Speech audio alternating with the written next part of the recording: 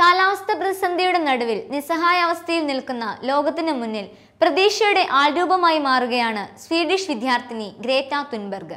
കാലാവസ്ഥ പ്രതിസന്ധിക്കും ആഗോളതാപനത്തിനുമെതിരെ സമരം നയിക്കുന്ന പതിനാറ് വയസ്സുകാരിയായ ഗ്രേറ്റ തുൻബർഗ് യു എൻ ഉച്ചകോടിയിൽ നടത്തിയ പ്രസംഗം വികാരഭരിതമായിരുന്നു. കാലാവസ്ഥ വ്യതിയാന പ്രക്ഷോഭ നിരയിലെ പുതിയ നക്ഷത്രമാണ് ഗ്രേറ്റ തുൻബർഗ്. ശോഭനവും വിസ്മയകരവുമായ തന്റെ ഭാവിയിലേക്ക് ഉറ്റുനോക്കുന്ന ഒരു പതിനാറ് വയസ്സുകാരിയുടെ ഹൃദയത്തിൽ നിന്ന് ഉതിർന്ന ചോദ്യത്തിന് മുന്നിൽ സ്തംഭിച്ചു നിൽക്കുകയാണ് ലോകം. കാലാവസ്ഥാ വ്യതിയാനത്തെക്കുറിച്ചുള്ള സമ്മേളനത്തിൽ ആ സ്കൂൾ വിദ്യാർത്ഥിയുടെ അഞ്ച് മിനിറ്റ് പ്രസംഗത്തിന് മുന്നിൽ U S president Donald Trump പോലും ഞെട്ടി നിൽക്കുകയാണ്.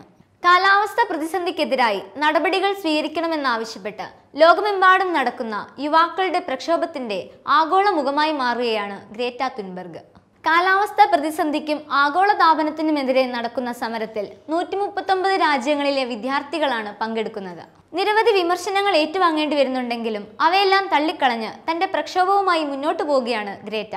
സഹപാഠിയുടെ നെഞ്ചിൽ കത്തി കുത്തിക്കയറ്റാനും എതിർ രാഷ്ട്രീയക്കാരനെ ക്യാമ്പസിൽ നിന്ന് ഓടിക്കാനും അധ്യാപകനെ അസഭ്യം പറയാനും ചോദ്യക്കടലാസ് മോഷ്ടിച്ച് പരീക്ഷ എഴുതാനും മാത്രം അറിയുന്ന നമ്മുടെ വിദ്യാർത്ഥി രാഷ്ട്രീയക്കാർക്ക് ഗ്രേറ്റ തുൻബർഗിൽ നിന്ന് ഏറെ പഠിക്കാനുണ്ട്. ഗ്രേറ്റ തുൻബർഗിനെ പോലുള്ള വിദ്യാർത്ഥികളെയാണ് നമ്മുടെ നാടിന് ആവശ്യം. പരിസ്ഥിതി സംരക്ഷണത്തിന്റെ മാഹാത്മ്യം തിരിച്ചറിയുന്ന യൗവനങ്ങൾ നമ്മുടെ നാട്ടിലും അനവധി ഉണ്ടാകട്ടെ.